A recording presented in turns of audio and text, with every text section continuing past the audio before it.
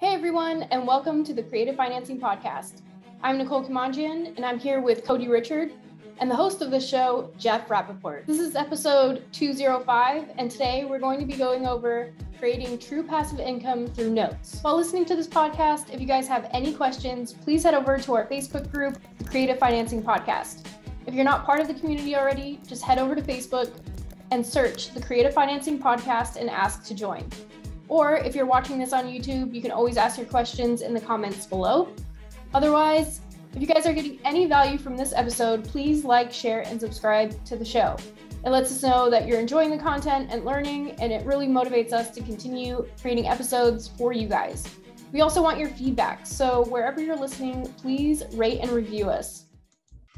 So today we're going to talk about true passive income. I, I think it's something that everyone is talking about in the last 12 months. And but today we're going to talk about real passive income. So Nicole, I know you have a, a duplex that you rent out, both short-term, long-term. Is that right? Yeah. So one unit's Airbnb and the other is a long-term tenant. So you make income from that duplex, right? Every month? Correct. But you're still involved in it, correct? Uh, even though you have a property manager and uh, you have someone that's managing your short-term rental, you're still actively involved. Yeah, I have to manage the managers. right, right. which which is pretty normal. And but people call that passive income because uh, you, you're not doing the day-to-day operations and management of it, but you you are still managing the management, correct? Right. Perfect. All right, so we're gonna I'm gonna show you today how to truly get passive income, where all you do is cash a check. That would be a good gig to me. Yeah, right. Yeah. All right. So let, let's talk. Let's take an example that we are currently working on, and this example, I won't tell you exactly where it is, but it's in Illinois. And it is, it, it's funny, it has become, it started out as one house, then it became two houses, and now we're up to three houses. And if these numbers seem super low, uh, they are. And it, it really just depends what market you're in. And so let, let's talk about what these are. So one's uh two of them are two bed, one bath. And I'm gonna let you, Cody, share your screen. Will do. Share and draw it out. So is this our financial calculator? Uh, not yet, but we'll get Okay. there but at least everyone can see what we're talking about. Um, so Jeff, you said this turned into three. Does that mean like, uh, is it the same owner? Like, yes, yes. Okay. And I'll tell you why it's turned into three in just a second, as soon as I can. Sorry, Cody. Um, no, you're okay. I don't know why. There we go. That should work. Okay. Get my screen shared here.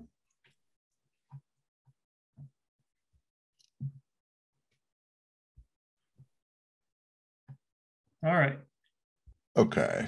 You said two of them are two bed, one bath? Actually, let me tell you exactly. So one is a three bed, one bath. That I know for sure. Okay. One is a two bed, one bath. And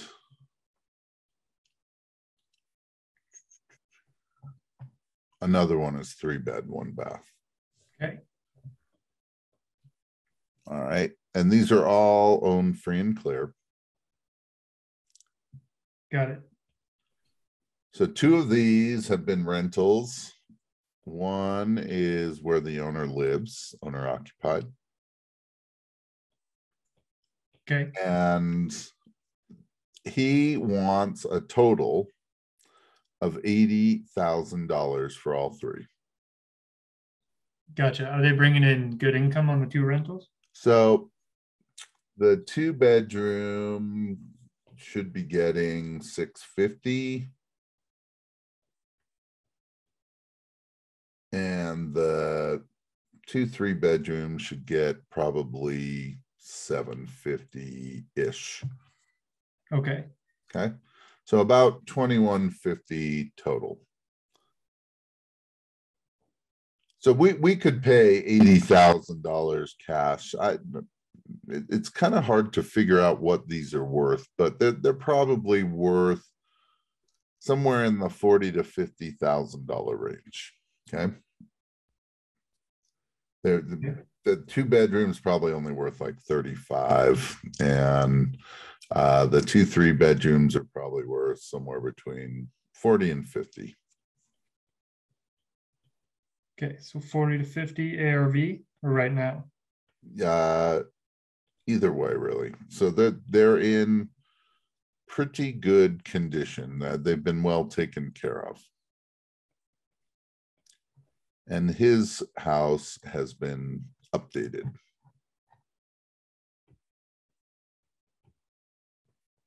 Okay. And not all of this isn't super important, but just so everyone can get an idea of what we're dealing with here. Okay. So one, one of the things that, uh, and we did this on the last couple of episodes, is when I'm looking at income property, I'm always looking at what are the the current rents compared to uh, what the price is. So in this case, I'm looking at total rents, uh, wh- which are a little less than what numbers I'm giving you, like the seven. Uh, one of the three bed, one baths owner occupied, so it's not even rented. Yep. Uh, the other one I think is rented for six fifty, and I think the two bedroom, one bath is rented for five fifty. So right now it's like twelve hundred dollars. Gotcha. Okay, and the reason that he wants eighty thousand, it has nothing to do with the value of homes or anything. He wants to move, and the property that he wants to buy is eighty thousand dollars. However, we, we have chatted with him because really what I don't want to do is I, I really don't want to pay cash for this. And uh, so the, the three bed, the three house deal just came about yesterday. Before that, it was a two house deal, and he was hoping to get 80 with two houses. And I was more like at 40. And he he wanted then he wanted 50 and so we, we've negotiated back and forth right but he is willing to say if we can give him a decent down payment he is willing to let the income that we pay him cover his mortgage uh, he's okay with that On his new property that he bought? correct that's Okay. right all right so we, we are going to look at two different ways that we can structure this and then uh, we'll go through what some of the results are you know how does that work out for us and uh, so first is all right so could we pay cash for these three properties nicole what do you think Yeah. I mean, 80K is kind of cheap.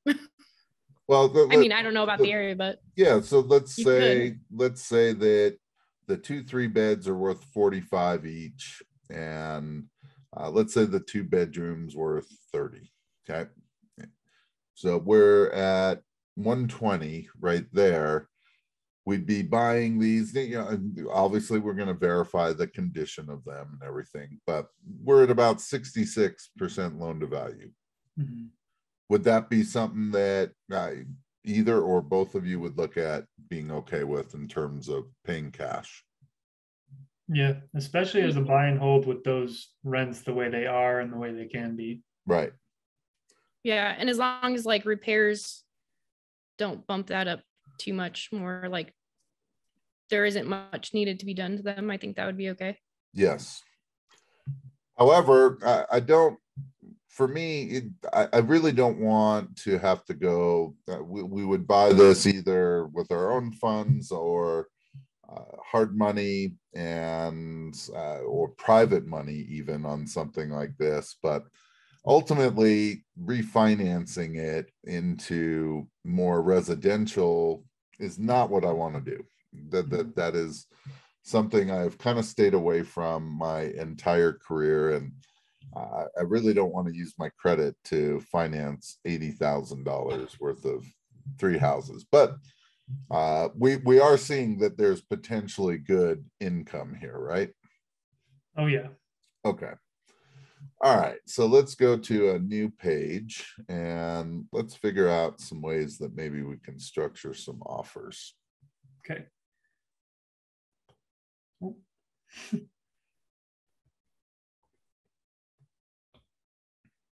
You can get started if you want. I'll pull okay. it up. All right, so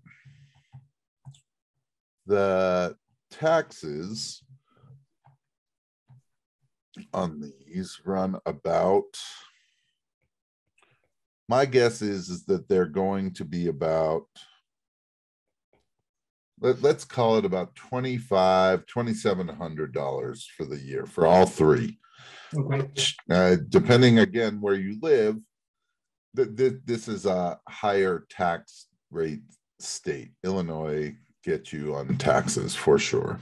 Okay. Uh, if you were in Utah, where we live, uh, well, at least Cody and I live, that, uh, one, there's nothing like you're not buying anything for thirty thousand dollars, uh, not even close. But uh, the taxes, twenty six hundred dollars a year is probably a four hundred thousand dollar four to five hundred thousand dollar piece of property. So it, it varies, and I, am totally estimating this because I, I, would assume that they will be reassessed. And even though it's still not very much money, let's be on the high side rather than the low side.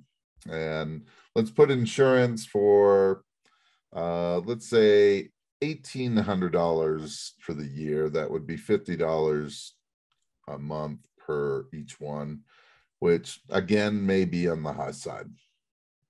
Okay. The utilities, uh, what my goal would be is that we won't pay any. Gotcha. Fat zero. Yes, zero. I would also say, uh, as far as management, we won't need any. Okay. Does this sound familiar? I, I, mean, we're working through something very similar to what we worked through when we did the case studies on your two properties, Cody. Yeah, I'm interested to see where the shift happens because I've heard of creating the true passive income, but I don't know how to do it. Okay. Uh, what else do you think are potential? Uh, so there might be repairs, repairs right? and maintenance. Yeah, yeah there, there won't be any. Um, there won't be any maintenance. Oh, wow. Okay. Okay. So we're eliminating all of this stuff. Okay. Yeah, it looks pretty good so far. All right. So, but what, what do we got? We got about $4,400 in taxes and insurance. Yep. Okay. To be honest, we're not going to pay that either. So, okay. All right. the plot thickens. Yeah, right. like stunned over here. Zero expenses any kind. Yeah. Yeah. Give us the bait and switch. It, will it'll start to make sense to you in just a second. Um, all right. So let's let's start looking at potential offers. So let's say, but we already know what the price is that we need to get to. So, but we're, we're going to come up with, let's say, three offers for, uh, and three offers other than cash. And cash is going to be, let's say, $70,000. Gotcha. Okay. So, offer number one, let, let's call it um, let's say we'll make an offer for 83,000. Okay. Purchase price of 83. Yep. And we're willing to even put down, let's say, $12,000. Okay. It's a pretty significant percent. It is, right? Usually do. It is. But why do you think I'm willing to do that in this particular case?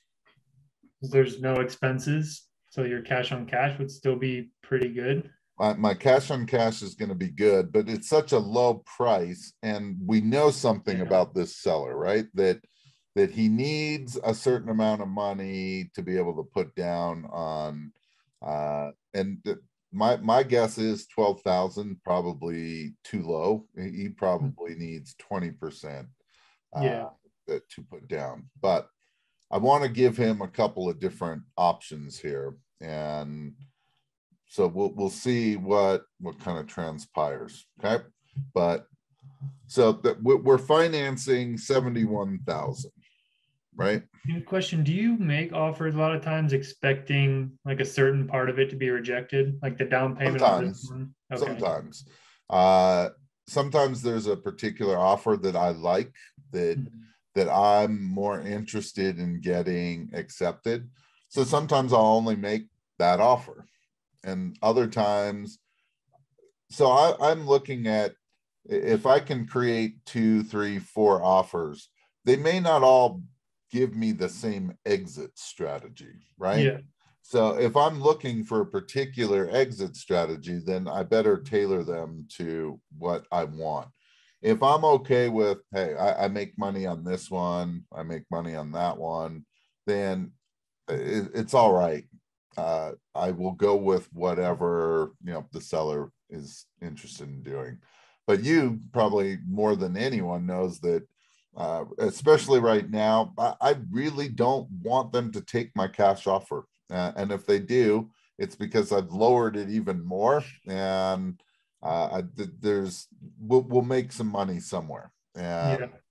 so on this case, we're going to offer 12. And so we're going to finance 71,000. Okay. So that's so seventy-one thousand is PV, right? On the That is calculator. correct. Yep. Okay. I have it pulled up here just to walk through it as a group as well. So yeah, seventy thousand present value.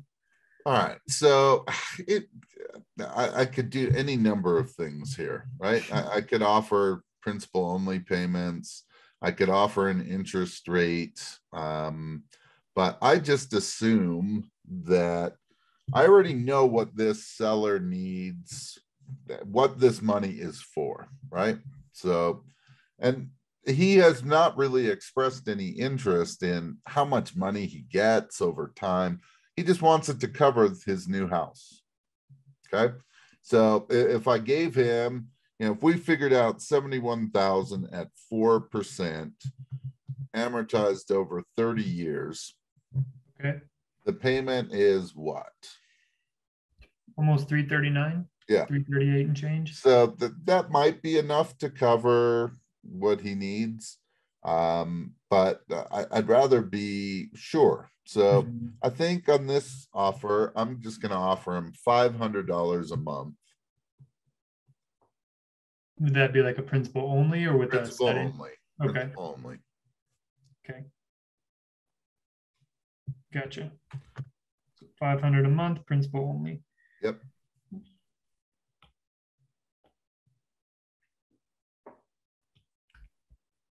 And if I have seventy-one thousand and I divide it by five hundred, that means in hundred and forty-two months, it would be paid off in full. So I could offer him something like that where uh, we'll run this, you know, almost twelve years until it's paid in full. Or I could give him like a ten-year balloon or something like that. Um, so I think we would do on this one.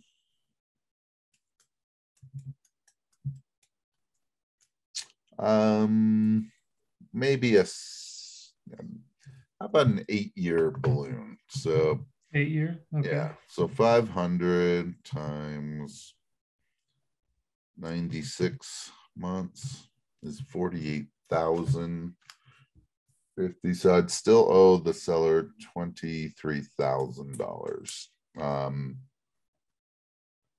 So you just took the monthly payment times the number of months to get how much is owed pretty much. yeah. So that actually, let's change change that. So let's make it Okay. nine years. And so that would be nine times twelve. It's hundred and eight times five hundred, fifty-four thousand. Okay. Now I'm gonna owe the seller seventeen thousand. So the balloon's seventeen thousand. So the purchase price minus down payment minus how much you've made in payments. That's right, And how much you say that was? seventeen thousand. Seventeen K. Yep. All right. Okay, I'm great with that. Um, if that works for the seller. Yeah. Okay. And uh, and if the seller came back to me and said, I'll take this, but I want 20 grand down, I would say, all right, let's make it $80,000 and I'll do 20. Why would I do that? I will show you as we get the result. I'm glad that one was a rhetorical question. I, I Yeah. was Yes. Yeah, I, I am a big proponent of not leaving money in deals. Mhm. However, sometimes if it's small amounts of money or it's for short periods of time, it's it's a good use of your money. And if you have access to equity lines or business lines of credit or even private lenders, right, that uh, could put up that 12,000, 15, 20 grand uh, for, I don't care, but whatever, uh, it's a small amount of money, right? If I paid someone 10% on their money on $20,000, it's going to equal $166 a month. And uh, so uh, what I'll look at is what's more important? Uh, do I need that $166 a month in cash flow? Or would I rather keep my money in the account rather than put it in this property? Okay, Gotcha. Okay. Let's look at offer number two. And maybe we'll just do two offers. And uh, because in reality, what I normally will will do in this case is make one a shorter term, one a longer term. Hmm. Uh, There's no reason to, right? Yeah, and you still include that that cash offer too, right, Jeff? yeah, So that I would still just be your third. Yeah. Okay. Okay. All right. So offer number two. Well, let's say that uh, we will offer the eighty thousand. Purchase price 80K. So the only thing that I'm a little bit concerned about in the first option is the down payment. Hmm. Is that enough money for him? Okay. So on this one, let's make the down payment a little more. So let's make the down payment thirty thousand. That's quite a bit Uh, more, way over 20. Yeah. but- Uh, actually, let, let's change that. Let's make it forty thousand. Oh boy, I thought you were going down. You went up more. Yep. Jeff is like challenge accepted. Yeah. All right, 50% down. Yeah, but we're gonna borrow that in first position. Um, and we, we, we, we, we have some choices to make. Let, let's make sure that maybe not on this episode, but our next one, that Nicole, you remind me to talk about, do we want to make this deal on all three of these properties?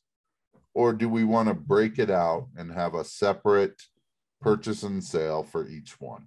Okay, will you remind me Okay. to ask that question? yeah. All right. So we're gonna borrow this money against this property. So we're gonna look at doing a subordination. Okay. So forty thousand. First of all, do you think I can go find forty thousand dollars to borrow? What did we think that worst case scenario that these properties are worth 120, right? Yeah, Mhm. that seems You think I can go find someone that would be okay lending 40 grand for uh and let, let's say I can borrow this at 8%. Simple interest, right? So that I'm going to be around that 250 to 66 dollars a month range, okay? Let's now talk about so we still owe the seller 40 grand Mhm. right? So let's just figure out if if he's buying a property for 80, he certainly is going to get good terms if he goes and puts down 40, right? Yeah. So uh know, Jeff, so I have a I have a question. Sorry. Uh-huh. Uh, so when you say uh, you're gonna in first position the 40k, does that mean uh, what you're talking about is like borrowing that the Yep. private money? Yep. Okay. Uh-huh. Yeah, there's nothing owed on this property. So we're we're gonna ask the seller, hey, allow us to borrow against these properties. We're gonna give you all that money that you're now gonna go put down on your other house. And then Mhm. we're gonna secure the rest of your equity in second position. We'll continue making payments on the first.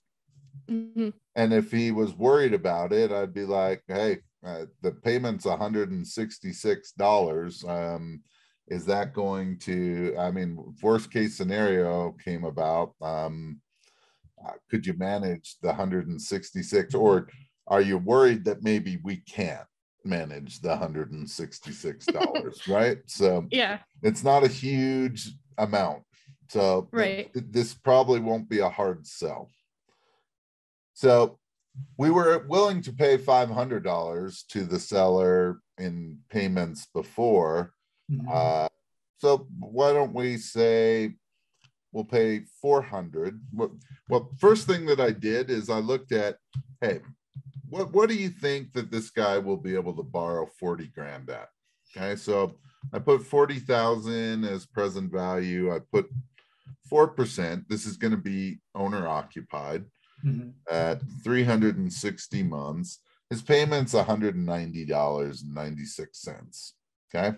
Gotcha. That's low. So even if it went up to 5%, uh, maybe his credit's not very good. It's 215, okay, 214 and some change. So why don't we pay him here $350 a month on his equity? So uh, he has a, a note for $40,000. Right? Okay. And so if we look at what, what will forty thousand dollars divided by three fifty be hundred and fourteen payments. So let's say that we would do hundred and eight, which is nine year balloon. Okay, so uh, we'd ask for hundred and eight payments. Okay. So this is on the one in first position where we're No. holding. No, the, the one in first position is what we're borrowing from a yeah. private individual. This is the equity of the sellers of 40 grand in second position. Gotcha. So we'll make payments of 350 a month for 108 months, and that will total 37,800. Okay. So we will have a balloon payment of $2,200. Okay. Okay. And uh, so our payment is just about 500, 515, something like that. Does that make sense? Our total payment. So paying the private lender and paying him, we're still into this for right around that $500 a month. How much money came from us in this particular offer? None so far. Zero. Zero, right? That's why I like this one. And what was the payment to the hard money lender? Like a hundred and sixty-six dollars. Okay, I see. Got it. Is Okay. that with it being like eight percent? Is that off? Yeah, I used eight percent Okay. there. And is that So- principal only or interest only? Interest only. So all I did was I took forty thousand times 0.08 divided by twelve. Oh, 266. I'm sorry. Is that right? Yeah. Uh, hold on.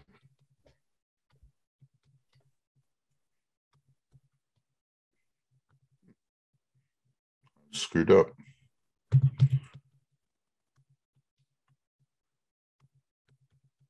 Oh, good thing is for me that I can probably borrow this at six percent and it'll be eight hundred dollars. So, um, so th- that's what I would put, but th- th- it doesn't really matter. Um, uh, when I say it doesn't really matter, that an extra hundred dollars isn't going to make or break this deal, is what I'm Okay. trying to say.